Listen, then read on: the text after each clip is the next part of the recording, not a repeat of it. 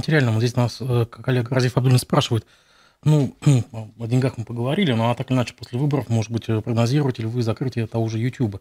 И мы видели, что в прошествии последних там двух недель странным образом сбоил Telegram, YouTube клался как- как-то странно. Потом выяснялось, что это какие-то шлюзы перекрывали Роскомнадзоре, какие что-то тестировали. На ваш взгляд, действительно, может быть, все уже после выборов? Ну, как думаете? Я не удивлюсь ничему, с одной стороны. С другой стороны, мы должны понимать, что закрытие того же самого YouTube, потому что я ради интереса смотрел аналитику, причем делали здравую такую аналитику, что там вот таких политических передач на YouTube не самое большое количество.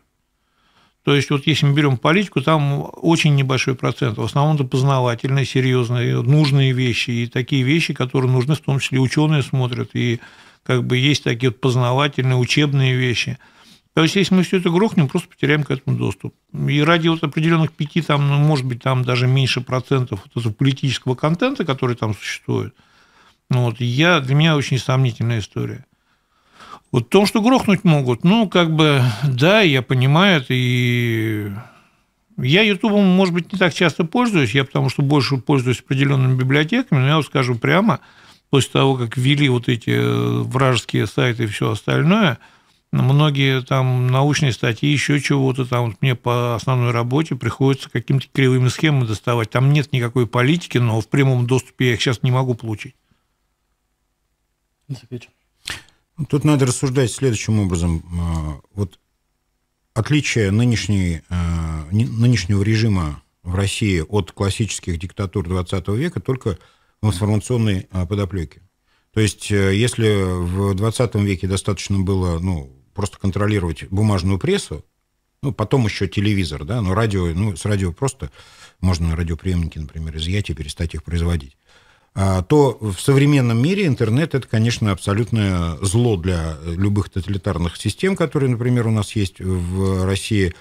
И что-то с ними делать, это, конечно, у них, ну, прям скажем, на повестке дня постоянно. Вопрос, что тупо зарубить э, YouTube, наверное, не получится по ряду технических причин. И еще потому, что сказал Олег, потому что масса, огромная масса, миллионная масса домохозяек, студентов, ученых, Э, пожарных, э, значит, и так далее, и так далее, получают оттуда информацию разной степени важности. То есть кто-то развлекательную про туризм, кто-то про рецепты, кто-то там какую-то психологическую помощь и прочее, прочее. То есть вот на этих весах целесообразности пока установилось равновесие, то есть для власти. Значит, с одной стороны, они опасаются недовольства населения, потому что ну, будет обрублен достаточно серьезный источник информации, повторюсь, не политической, да. А с другой стороны, вот эта вот раздражающая и нарастающая агрессия в адрес тех двух там, или трех процентов этого политического контента. А YouTube устроен так, что нельзя закрыть один единственный канал, например. Без согласия, естественно, самого YouTube. То есть просто технически его нельзя заблокировать. Можно только весь заблокировать. Нет, смотрите, во время баймарских событий и событий здесь в Уфе в январе, помните же, у нас легла и телега, и WhatsApp, э, компания я тебе, это, друг, это другое немножко, да. Я тебе расскажу сейчас интересную историю. Это было лет пять назад или шесть, я вот сейчас точно не могу сказать, сколько лет назад было. В МВД России, не Башкирии, в МВД России была очень большой разбор полетов, потому что кортеж Путина, который шел по московским улицам, координировался, значит, службами сопровождения через WhatsApp. И все были в шоке, когда это выяснилось, все были в шоке. Там генералы с мест послетали. Я не помню, сколько лет назад это было. Понимаешь, дело в том, что сегодня, как бы мы, вот я насколько помню вот эту историю, сейчас Телеграм наш, все, мы туда все бежим, значит, все властные структуры должны канал завести, а сейчас вроде как начинает выясняться, что не совсем наш. И, понимаешь, и, и тут не совсем наш, и WhatsApp не совсем наш. Полностью механизм связи, понимаешь, это ведь тоже определенная такая степень недовольства уже лояльной части населения. Вот, вот, да. Ну, четыре дня лежали все мессенджеры, никто не особо не возбуждал. Нет, во-первых, не все лежало. Начнем, давайте справедливости ради. Значит, лежало на определенных э, платформах. То есть, э, плохо работал то МТС, то Билайн, например. То есть, поочередно и не оба сразу. Э, стационарный интернет э, притормаживал и так далее. То есть, э, это была вот именно шлюзовая вот такая блокировка. То есть, э, если бы они прописали запретную строку, то легло бы на 100% у всех. Ну, то есть просто отключили, например, весь Telegram или весь YouTube там, или весь э, WhatsApp. То есть это немножко другая технология. То, что власти периодически начинают глушить Э, как бы, ну, вот эти источники, это очевидно. И то, что вот происходило последние три недели, это были именно учения, а не э, конкретным каким-то моментом привязанные вещи. Учения, прямо скажем, такие неуспешные. То есть там э, те, кто рассматривал их результаты, пока недовольны этим.